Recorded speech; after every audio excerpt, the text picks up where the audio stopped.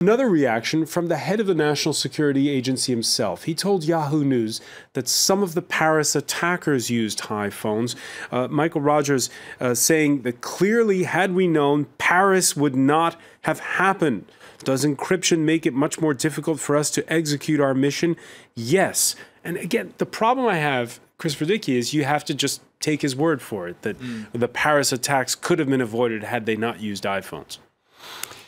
The Paris attacks could have been avoided if the French police had paid attention to the data they already had in hand and had followed the people that they were already looking at.